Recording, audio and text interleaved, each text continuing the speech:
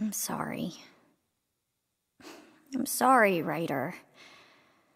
I'm sorry I left the way I did. If you knew what I was gonna do, you would have tried to stop me. At least all of you are safe now. It's over. I wonder what you all must be thinking. What are you saying about me now that I'm gone? Now that I'm gone. Here lies horse. She is gone from this world, well, from both of them.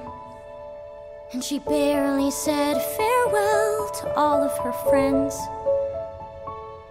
And of course, she regrets leaving so quickly.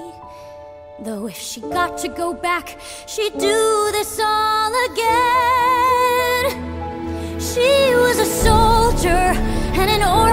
was tough for so long. But she had to open herself up to others to truly be strong.